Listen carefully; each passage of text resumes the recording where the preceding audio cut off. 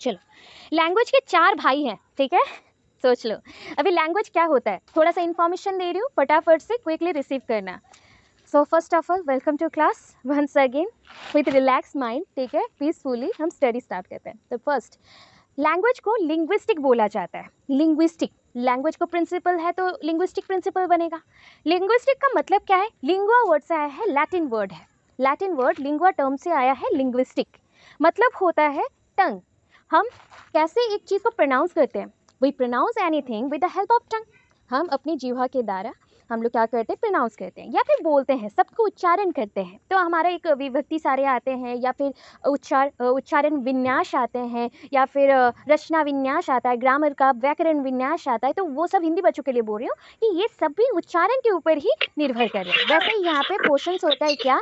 ना फ़र्स्ट होता है हमारा कि हमारा लैंग्वेज लिंग्विस्टिक है, लिख के रख लो। प्लीज़ म्यूटअप और ध्यान से पढ़ना। ये चार लॉन्ग क्वेश्चन में दो लॉन्ग क्वेश्चन आने के चांसेस है। सोचो कुशतर स्टूडेंट्स बोल रही हूँ एल एस आर डब्ल्यू मतलब इसी से ही ये चार क्वेश्चन से आपको बत्तीस मार्क के क्वेश्चन मिलेंगे। बत्तीस क्या बोल रही हूँ? गलत बोल दिया। बत्तीस, चार, छत्तीस। थर्टी सिक्स मार्क के क्वेश्चन आपके एग्ज़ाम में आएँगे और आपको अटेंड करना है। बस ये चार topic L S R W तो हर एक टॉपिक का वैल्यू कितना है समझ आया होगा। वैसे ही why view and a new students को मैं बोल रही हूँ, आपका दो दो यूनिट है। दो दो यूनिट है। तो दो दो यूनिट से सोच लो, हर एक यूनिट से पाँच पाँच पाँच पाँच। ठीक है? दस दस बीस मार्क का क्वेश्चन है। Twenty marks around twenty marks अगर लॉन्ग में आ गया तो और सोचो सिक्सटीन मार्क्स फिर से थर्टी सिक्स हो गया। तो थर्टी सिक्स मार्क्स के क्वेश्चन है। इवन यही पोर्शन है। इतना ईजी है कि जिसको याद रखो तो वो मल्टीपल जगह पे काम आएगा। ठीक है? ऐसा नहीं है सिर्फ़ एक एग्ज़ाम में। कोई एग्ज़ाम में चले जाओ। क्योंकि हम जो बातें बोलते हैं जेस्चर्स दिखाते हैं, जो भी चीज़ें एक्सप्लेन करते हैं और आपके सामने मैं प्रेजेंट भी कर रही हूँ, ये ओनली पॉसिबल हो रहा है लैंग्वेज के थ्रू लैंग्वेज एक यूनिवर्सल आर्बिटरी पॉइंट पे चलता है. लैंग्वेज को कभी, भाषा को कभी आप चाहो तो ख़त्म नहीं कर सकते. मे बी उसको मॉडिफाई कर सकते हो बट ख़त्म नहीं हो सकता. लैंग्वेज के बहुत सारे फ़ंक्शंस होते हैं. लैंग्वेज कम्युनिकेशन में यूज़ होता है. वार्तालाप में व्यवहार करते हो. लैंग्वेज का आप यूज़ करते हो कल्चरल ट्रांसमिशन के लिए, अपनी कला संस्कृति को आगे बढ़ाने के लिए लैंग्वेज का व्यवहार करते हो कोई चीज़ों को बताने के लिए, अपने इंटेंशंस को बताने के लिए, अपने एक्सपीरियंस को बताने के लिए, किसी को अपने प्रॉब्लम्स को समझाने के लिए। लैंग्वेज एक कमांड वाला फ़ंक्शन भी पर्पस मतलब यूज़ करता है या फिर पर्पस में यूज़ होता है। क्या? कमांड क्या है? मैं बोलूँ, ये मेरा ऑर्डर है, आप फॉलो करेंगे। तो order that is a command तो ऐसा भी हो सकता है। लैंग्वेज के बहुत सारे यूजेस हैं। लैंग्वेज में इसीलिए कुछ चीज़ों को देखा जाता है ठीक है? जिन बच्चों को लग रहा है कि फ़र्स्ट यूनिट का फ़र्स्ट पोर्शन नहीं पढ़ा है यही सारे पोर्शन होंगे इसलिए मैं पढ़ा दे रही हूँ इसी के साथ समझाते हुए। समझ लो पढ़ना। सो so, लैंग्वेज और क्या बोलता है? ना लैंग्वेज एक रूल गवर्न सिस्टम है। लैंग्वेज के अंदर ही अपना सिस्टम है ठीक है? वर्ड्स को आराम से सुनो दो तीन बार रिपीट कर रही हूँ। लैंग्वेज खुद में ही एक सिस्टम है। क्यों पता है? कि लैंग्वेज पहले क्या बनता है? पहले लेटर्स रहते हैं। पहले तो अक्षर बनते हैं। अक्षर को जोड़ते हो तो शब्द बनेगा। शब्दों को जोड़ोगे तो वाक्य बनेगा। अभी क्या हर एक वाक्य सेंटेंस मीनिंगफुल होता है? नहीं। तो उसको मीनिंगफुल वाक्य फिर बनाना है तो उसमें ग्रामर का यूज़ करना पड़ेगा। प्रॉपर यूटिलाइजेशन से एक मीनिंगफुल सेंटेंस को हम ड्रॉ कर सकते हैं, या फिर बना सकते हैं। तो ये हो गया सेंटेंस मेकिंग फ्रॉम लेटर से स्टार्ट करके, ठीक है? From start from the letter तो वहाँ से हमने बनाया। लैंग्वेज में अपना ही सिंटैक्स होता है मतलब लिखने का शैली होता है। लैंग्वेज में अपना ही मीनिंग होता है सिमेंटिक बोला जाता है। लैंग्वेज के अपने ही सिलेबल्स एंड प्रोनाउंसिएशन होते हैं। हर एक शब्द का अलग अलग प्रोनाउंसिएशन होता है, उच्चारण होता है, जो कि डिपेंड करता है स्ट्रेस अपने गले पे हाथ दो अभी, और मुँह को खोलो एंड कुछ बोलो। Hello hi how are you कुछ भी बोलो। कैसे हैं आप सब? तो देखो, गले के ऊपर वाइब्रेशंस आते हैं। उसको वोकल लैंग्वेज बोलते हैं। वोकल होता है वो। एंड ऐसे करके लैंग्वेज का हमने थोड़ा बहुत कंसेप्ट जाना। ठीक है? अभी लैंग्वेज को एक्सप्रेशंस के लिए भी यूज़ करो। कोई भी चीज़ को एक्सप्रेस करना आइडियाज़ थॉट कोई भी चीज़ों को बताना है ओपिनियन देना है तो हम यूज़ करते हैं लैंग्वेज को। तो ये सारे चीज़ हो गए आपकी लैंग्वेज के बारे में। लैंग्वेज को aims and objectives I know that कि मुझे क्या बोलना है, ठीक है? मुझे पता है, मुझे क्या पता है और बोलना भी है, वो मैं जानती हूँ बट अभी नहीं पढ़ाऊँगी और डिटेल जाएँगे। आज का मेन कंसेप्ट होता है कि लैंग्वेज में कितने फॉर्म्स होते हैं या फिर उसके कितने स्टेप्स होते हैं। एक्चुअली लैंग्वेज में अगर देखा जाए, क्योंकि इसको लिंग्विस्टिक प्रिंसिपल्स भी बोला जाता है, क्योंकि ये कुछ प्रिंसिपल्स के ऊपर निर्भर करते हैं और लैंग्वेज अगर देखा जाए ना तो हर एक शहर से शहर, हर एक कम्युनिटी से कम्युनिटी और हर एक स्टेट से दूसरे स्टेट में या कंट्री से दूसरे कंट्री में वेरी करता है अलग अलग होते हैं। लैंग्वेज को क्वीन बोला गया इंग्लिश लैंग्वेज को स्पेशली क्वीन ऑफ़ लैंग्वेज बोला जाता है, क्योंकि ये इंटरनेशनल ग्राउंड पे यूज़ होता है या फिर अंतर्जातीय स्तर पे यूज़ होता है। लैंग्वेज एक डोर जैसा है, अगर एक पर्सन आधा लैंग्वेज जानता है ना तो उसको बोला जाता है, तुम कॉरिडोर में ही फंस गए हो, तुम विंडो बस ओपन किए हो, तुम डोर नहीं ओपन किए तो डोर खोलना मतलब हो गया लैंग्वेज के वेरिएशंस को जानना लैंग्वेज को समझना। उसके अंदर जो छुपे हुए फोनेटिक्स हैं फोनिक्स हैं, उसको जानना। प्लस कैसे प्रोनाउंस किया जाता है? बहुत लोग बोलेंगे, जैसे हम यहाँ पे यूज़ करते काऊ। उड़िया में क्या बोलते हैं? काऊ ना? कौआ हाँ। तो उसको हम क्या बोलते हैं इंग्लिश में? क्रो बट अगर ना दूसरे में जाओगे, दूसरे कंट्री में यूएसए में चले जाओ, इसको बोलते हैं क्रैक्स ठीक है? वैसे अगर आप चाइना में चले जाओ तो क्रोआ बोला जाएगा। तो हर एक लैंग्वेज का अपना ही कुछ मतलब है। हर एक वर्ड मे बी उसका मीनिंग सेम है बट वर्ड प्रोनाउंसिएशन सब चेंज हो सकता है। तो इसको रूल गवर्न सिस्टम बोलते हैं। लैंग्वेज अपने आप को ही गवर्न करता है या फिर कंट्रोल करता है। ये थोड़ा सा लैंग्वेज का कंसेप्ट मैंने शॉर्टकट में सुनाया ठीक है? अभी हर एक लैंग्वेज में चार पार्ट होते हैं। जितना अच्छे से, आपको हमेशा बोलती हूँ, अच्छे से सुनो। ट्राई टू लिसन केयरफुली हर एक चीज़। एंड ये ना बचपन से हमें सिखाया जाता था। अरे, मेरी बातों को सुनो, क्यों नहीं सुनते हो? तो दैट मीन्स लिसनिंग लिसनिंग सुनना। हिंदी में बोलते हैं श्रवण। श्रवण, ठीक है? जो जो सुनता है। ठीक है? और बोलो जो लोग सुनते हैं वो कौन होते हैं? लिसनर आप सब अभी मेरे लिए लिसनर है। मैं क्या कर रही हूँ? आपको मैं बता रही हूँ। मतलब मैं कौन सा स्किल यूज़ कर रही हूँ? स्पीकिंग और आप सुन रहे हैं तो आप कौन सा स्किल यूज़ करें? कौन सा कौशल है? श्रवण मतलब लिसनिंग तो हिंदी में बोला जाए तो स्पीकिंग मतलब कथन या बोलने का और आ, सुनने का आप कर रहे हो तो वो श्रवण या लिसनिंग होता है। अब चीज़ आया कि मैं पहले दो कैटेगरीज को टारगेट करूँ फिर दो में जाएँगे। रीडिंग एंड राइटिंग रीडिंग क्या होता है? जब देखो ये ना इसी सीक्वेंस में चलेगा। इसी सीक्वेंस में जाना है। कभी भी ऐसा हैपोजिट नहीं लिखते हैं। अगर ग्रुप बना, ये एक ग्रुप है, ये एक ग्रुप है। इसलिए दो यूनिट्स में रखे गए इसको। लिसनिंग एंड स्पीकिंग मतलब जितना आप अच्छे से सुनोगे, उतने अच्छे से आप बोलोगे। जितना आप अच्छे से बोल पाते हो, उतना ही अच्छे से अगर बोल पाते हो लिसनिंग एंड स्पीकिंग अगर अच्छा है तो ऑब्वियस एक पर्सन का रीडिंग अच्छा हो जाएगा। अगर रीडिंग स्पीकिंग लिसनिंग तीनों अच्छे हैं तो ऑब्वियस है आपका राइटिंग भी प्रॉपर होगा। इसलिए आप लोगों को बोला जाता है, कितना क्लियर केयरफुली सुने हो। जितना केयरफुली सुनोगे, उतने अच्छे से मुझे एक्सप्लेन कर पाओगे। उतना एक्सपीरियंस आपका बढ़ेगा। उसी एक्सपीरियंस के बेसिस पे आप नोट्स लिखोगे एग्ज़ाम में लिखोगे, कुछ तो एक्सप्लेन करके आओगे, अपना प्रेजेंटेशन दिखा के आओगे, कुछ मैजिकल हो ही जाएगा। तो ये चीज़ें होती हैं लिसनिंग स्पीकिंग रीडिंग राइटिंग एक दो तीन चार करके जाना है। एल एस आर डब्ल्यू इसको शॉर्टकट में बोलते हैं। और ये पोर्शन कॉमन रहेगा ये चार क्वेश्चंस के लिए। जितना अभी बोला ना लैंग्वेज के बारे में थोड़ा सा पहले लिखना। उसके बाद लैंग्वेज का मीनिंग डेफिनेशन थोड़ा लिखना। लैंग्वेज क्या होता है? एक पर्सन जिस मीडियम के थ्रू दूसरे पर्सन को आ, कुछ बता पाता है या फिर कम्युनिकेट कर पाता है उसको लैंग्वेज बोलते हैं या भाषा बोलते हैं। इतना ही चीज़ है। ठीक है? क्या हम क्लियर है इतना? बता दो फटाफट। उसी चीज़ को जो सुन रहे हो ना, वही तो लिसनिंग स्किल है। उसी को यूज़ करो अपने अभी नोट्स बनाने में। हेडिंग्स कर लो। और मैम ने क्या बोला था? ये बोला। चलो, अपने अकॉर्डिंग लिख लेता हूँ। तो ख़त्म। यही पढ़ाई है। स्टडी है। उसी को माइंड में वन टू टाइम रिपीट कर लेना है। हो जाएगा। बस जो जो मिस हो रहा है या फिर भूल जा रहे हो, उसको थोड़ा सा पढ़ लेना है। ठीक है? तो लिसनिंग स्किल क्या है? मेरे अकॉर्डिंग थोड़ा सा दिया है, जैसे कि आपका प्रेजेंटेशन ठीक हो। देखना। Listening is a language skill language का ही एक पार्ट है ना? भाषा का ही एक कौशल है ये। भाषा का कौशल है, भाषा सीखने के लिए चार कौशल बहुत चाहिए। जैसे लाइफ में आगे बढ़ने के लिए चलना पड़ेगा ना तो ये एक तरह का लैंग्वेज सीखने के लिए चलना ही पड़ रहा है। एक्विशिएशन प्रोसेस एक्वायर प्रोसेस अधिग्रहण प्रोसेस यही है। ठीक है? सो जब स्किल इन्वॉल्व होता है तो वहाँ पे आप एक्टिवली सुनोगे या पैसिवली ऑब्वियस है कि आप अच्छे से सुनना चाहते हो तो एक्टिवली सुनोगे। मतलब सक्रिय रहोगे, निष्क्रिय नहीं। लैंग्वेज जब सीखना है, भाषा अधिग्रहण करना है ना तो लैंग्वेज सीखना है मतलब आपको एक्टिव स्टेट में रहना पड़ेगा। पैसिव रहने से आप आधा चीज़ भूल जाओगे मिस आउट करोगे। सो इंडिविजुअल एक्टिव इन्वॉल्वमेंट होगा। अब एक चीज़ बताऊँ क्विकली चारों के चारों स्किल्स के लिए आप इसको यूज़ करोगे। क्या? देखो, यहाँ पे लिसनिंग लिखा है ना? लिसनिंग को स्किप करना, दूसरे स्किल के लिए क्या लिखना? Speaking speaking is a language skill which involve an active involvement of an individual reading is a language skill which involves an active involvement of an individual. Writing is a language skill which involves an active involvement of an individual. देखा? Heading intro बना दिया ना सबके लिए। ठीक है? अभी ये चीज़ बनाना है। एक्चुअल प्रोसेस होता क्या है? क्योंकि ये लिसनिंग है तो कौन सा सेंस ऑर्गन बहुत ज़्यादा हमारा एक्टिव रहेगा? कौन सा हमारा इंद्रिय सबसे ज़्यादा काम कर कान। कान, सुनने का ना? श्रवण। श्रवण। मैं अभी कौन सा स्किल ज़्यादा यूज़ करी बता सकते हो? स्पीकिंग बोलना।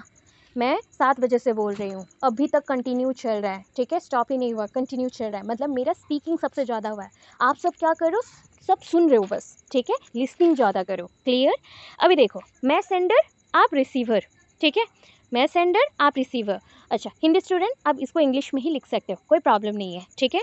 तो सेंडर क्या करेगा? इन्फॉर्मेशन मतलब मैसेज जो भी बातें हैं, जो कथन है, मैं अभी बोल रही हूँ ना तो मेरे मुँह से निकला और आप तक पहुँचा। ठीक है? तो उसके अंदर कौन सा चीज़ होता होगा? ना, हमारे पास ना सेंसोरी ऑर्गन है, जो कि ब्रेन कंट्रोल करता है ब्रेन के पास है। ब्रेन में कौन सा सेंट्रल नर्वस सिस्टम पूरे ब्रेन को जो कंट्रोल करता है, पूरे बॉडी को जो कंट्रोल करता है, जो इन्फॉर्मेशन सेंड करता है, वो सेंट्रल नर्वस सिस्टम तो सीएनएस है। सीएनएस के अकॉर्डिंग रिसीवर रिसीव करता है, उसको समझता है और उसके अकॉर्डिंग फ़ंक्शन करता है। हो गया? चलो डेफिनेशन चलता है। So according to right W R I G S T ठीक है? अकॉर्डिंग टू राइट राइट के अनुसार क्या है? ना it is physiological process of receiving ये फिजियोलॉजिकल प्रोसेस है। लॉजिकल बोला गया तो सीक्वेंस में होगा। फिजियोलॉजी है मतलब बॉडी के अंदर चल रहा है। क्योंकि बॉडी के बाहर कैसे सुन रहे हो तो पता नहीं चलता है ना बॉडी के अंदर जाता है ब्रेन में प्रोसेसिंग होता है, उसके बाद ही आप सुन पाते हो। अगर आप अपना कान अभी ज़ोर से बंद कर दो दोनों हाथों से तो कुछ सुन नहीं पाओगे या फिर बहुत हल्का सुनोगे। तो सोचो क्या हुआ, ना कान के अंदर एक ट्यूब है, उसके थ्रू ये ऐसा ट्यूब आपके कान में प्रेजेंट है। राइट ऐसा है। ठीक है? और इसमें गैप है। इसके बाद यहाँ पे ऐसे मेम्ब्रेन होंगे और ऐसे तीन बोन्स होंगे और उसके बाद ऐसा गैप होता है, फिर ऐसा ट्यूब जैसा एक होता है। और ये सब कोक्लिया यूस्टाचियन ट्यूब बहुत सारे हैं बायोलॉजिकल टर्म्स में तो हमें नहीं जानना है। ये आपका कैनल है ईयर कैनल ठीक है? यहाँ पे टिम्पानिक मैमरेन या फिर पर्दा बोलते हो रहता है। ये आपका ईयर पीना कान के सराउंडिंग जिसको पकड़ सकते हो अभी, बाहर दिख रहा है। तो साउंड जब आता है तो इसके अंदर जा रहा है। एंड वो वाइब्रेट होते होते होते होते यहाँ पे जाके जस्ट लाइक सोच लो, ये ड्रम जैसा ईयर ड्रम उसमें बीट किया। बीट करने के बाद वो इको स्टार्ट होगा। वो वाइब्रेट होना स्टार्ट करेगा। वो वाइब्रेट होते होते यहाँ पे गया। यहाँ पे सारे फ्लूड है और फ्लूड के साथ एक चीज़ बताओ बॉडी में हर एक ट्यूब के अंदर ना, आपके हेयर्स लाइक एपर्चर्स होते हैं।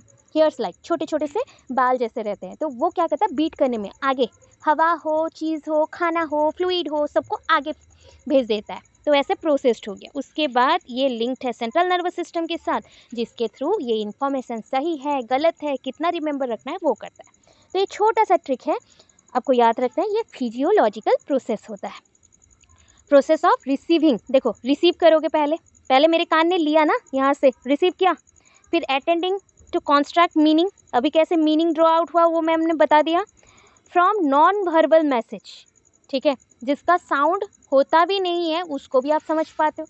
जिसका थोड़ा सा भी साउंड होता है उसको भी आप समझ पाते हो। तो सोच लो नॉन वर्बल से लेके वर्बल तक, सारे इन्फॉर्मेशन को आप समझ पाते हो। अब चलो मीनिंग में। स्पीच बोलना। बोलते हो ना? स्पीच ठीक है? द स्पीच जेनरेट साउंड्स मैं बोल रही हूँ, इसलिए साउंड जेनरेट हो रहा है। Which reaches to the audio sense देखो, अभी समझाया जो ऑडियो मतलब सुनना सेंस ऑर्गन मतलब कान audio sense organ make sense to this audible sound जैसे कि ये साउंड आप सुन सके, उस साउंड का कुछ स्ट्रक्चर है, कुछ एक वॉल्यूम है, उसको आप सुन सक रहे हो, जो कि स्पीकर ने बोला था। अभी प्रोसेस ऑफ़ लिसनिंग में क्या होता है, पहले तो आप कोई चीज़ को सुनते हो hearing so it is refer to the response caused by the sound works क्या करेंगे? स्टिमुलेटरी देखो, मैं अगर आपको अभी चीटी काटूँ, ये भी एक स्टिमुलेशन मैं अभी आपको डांटूँ भी, ये भी स्टिमुलेशन मैं अगर अच्छे से आपसे बात करूँ, आप हैप्पी हो जाओगे, ये भी एक स्टिमुलेशन है. कोई भी एक्सटर्नल फोर्स और एक्सटर्नल चीज़ जो आपको इफ़ेक्ट कर रहा है, वो आपके लिए स्टिमुली का काम कर रहा है. कभी कभी हमारा बॉडी हमारे लिए स्टिमुली जैसा एक्ट करता है. बट अभी के लिए याद रखो, बाहर से कोई भी चीज़ आ रहा है तो वो स्टिमुली है। तो अभी साउंड आपके बॉडी के लिए स्टिमुली है।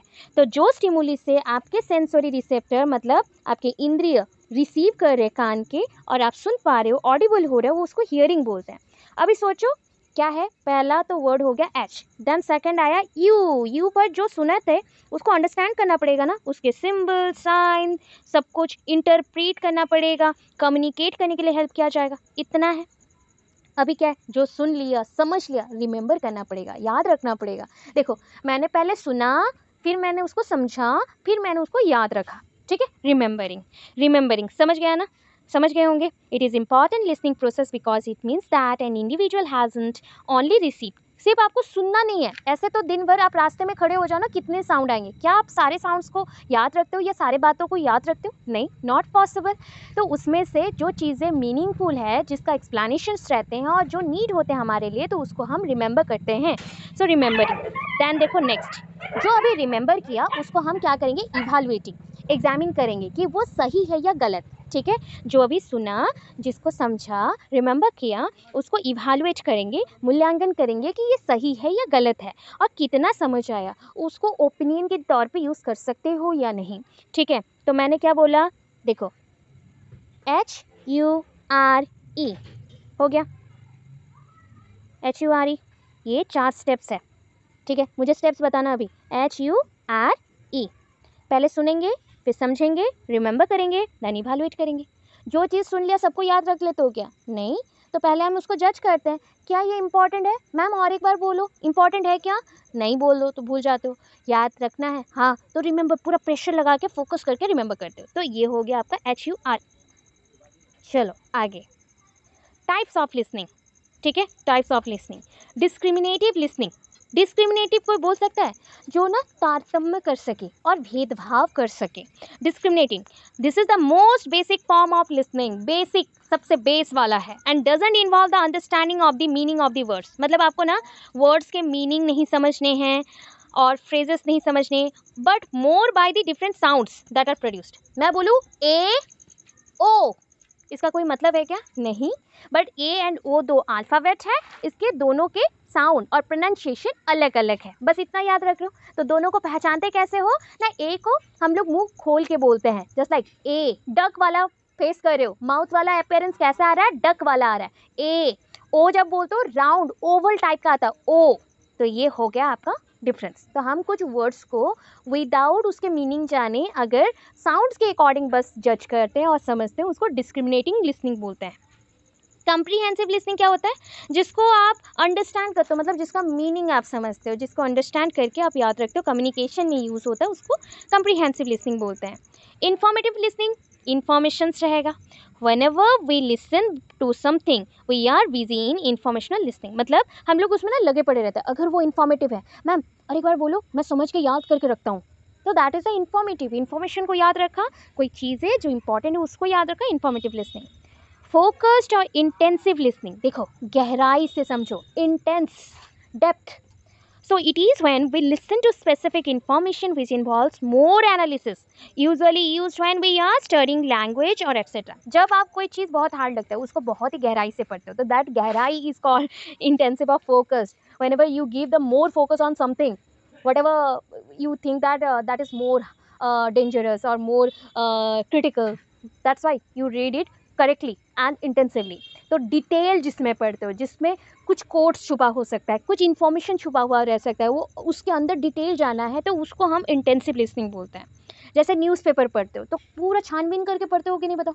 नहीं, कहीं पे कोई एग्ज़ाम का फॉर्म आया है क्या? अरे रिज़ल्ट आने वाले थे। अरे, कोई जॉब वैकेंसीज है क्या? दैट इज़ तो इंटेंस ठीक है? फोकस कैजुअल लिसनिंग जब हम लोग एक दूसरे से बात करें, कुछ इंपॉर्टेंट नहीं है, कोई स्पेसिफिक पर्पज़ नहीं है, बस हँसते हैं, भूल जाते हैं। तो ऐसा टाइप का। तो it is a listening to someone और something without much attention without much attention attention ज़्यादा देना नहीं है और समझना नहीं पड़ेगा, बस कोई पर्पज़ नहीं ऐसे ही बातचीत कर रहे हैं। That is a casual extensive listening अभी क्या करना है? ना it is use to get general understanding मतलब ऊपर ऊपर से सब कुछ आइडिया लेना है। अंदर नहीं जाना है डेप्थ में नहीं जाना है। इंटेंसिव का उल्टा है बस। फोकस कर रहे थे ना, यहाँ पे फोकस नहीं करना है। बस समझना है ओवरऑली समझ लिया। मैं जैसे बोलती हूँ ना स्टोरी समझा, ऊपर से समझा मूवी कुछ लोग होते हैं, जैसे मुझे मूवी पूरा देखना पसंद नहीं है। मैं बस स्टोरी सुनती हूँ। हो गया वो दस मिनट का अगर एक्सप्लेनेशन वीडियो भी होगा तो स्टोरी सुनूँगी, हो गया, ख़त्म। वैसा मतलब ओवरऑली सुन लिया, समझ लिया इन्फॉर्मेशन ले लिया, ख़त्म। अंदर नहीं जाना गहराई से नहीं समझना, और लॉन्गर पीरियड तक रिटेंशन भी नहीं चाहिए। ठीक है समरी जाना है बस।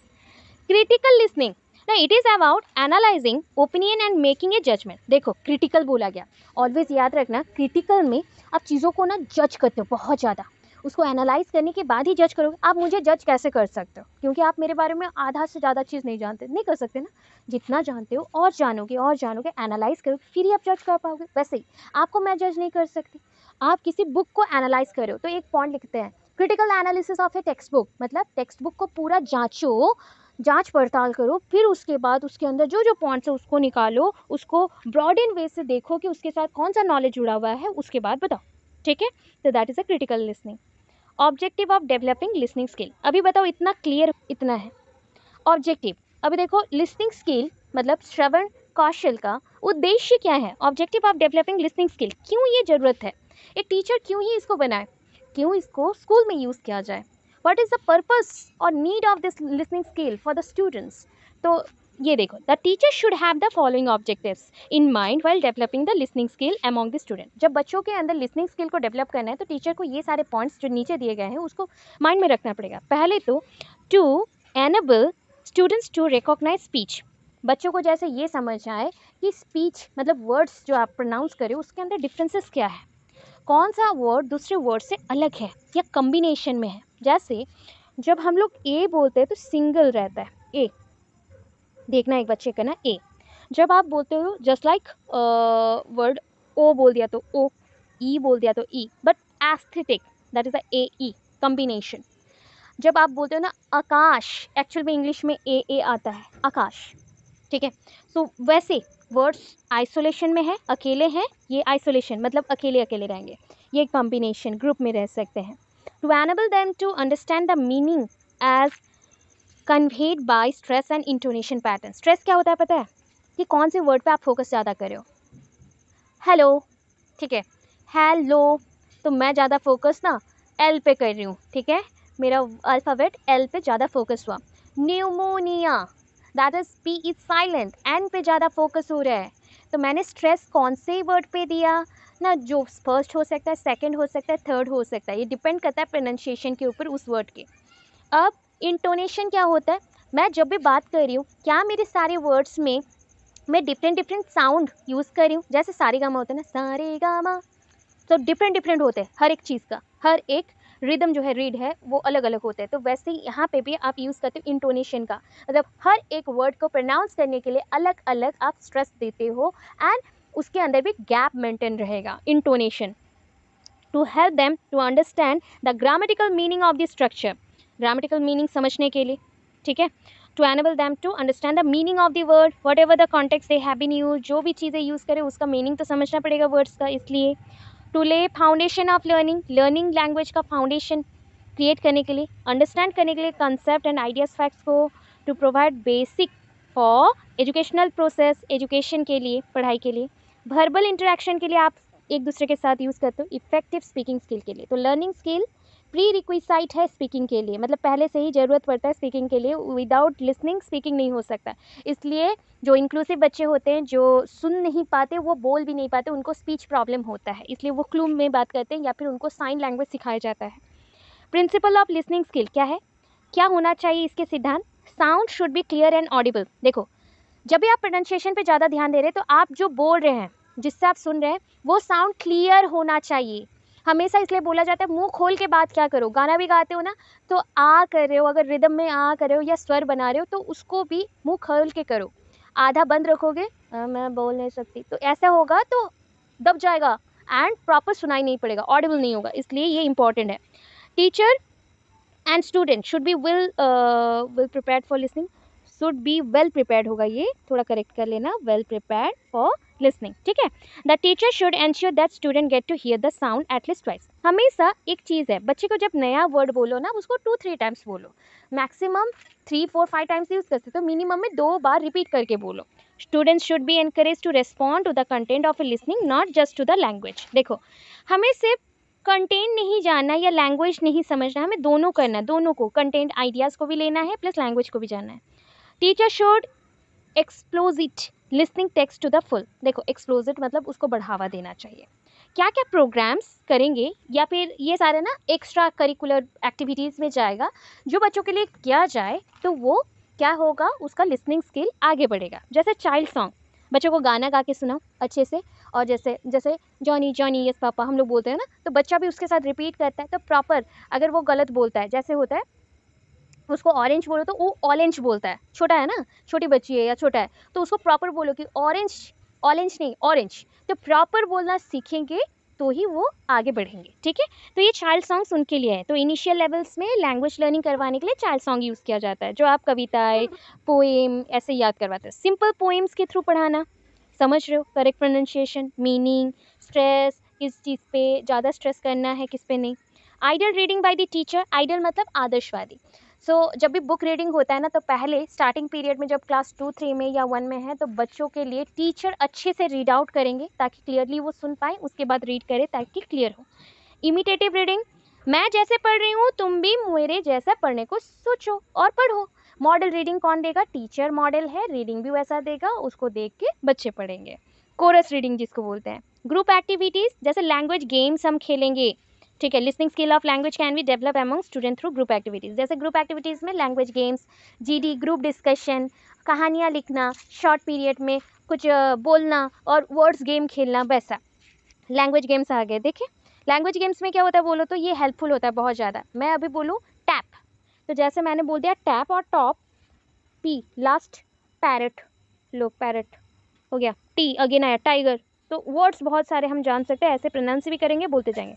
Question technique question what's your name my name is Nandini Priyadarshini Das तो बच्चा क्लियर बोलना चाहिए हाउ डू यू तो वो समझ पाए और बोले। तो इसलिए जीके टेस्ट ऐसे होते थे, मौखिक या मॉक टेस्ट रखे जाते हैं।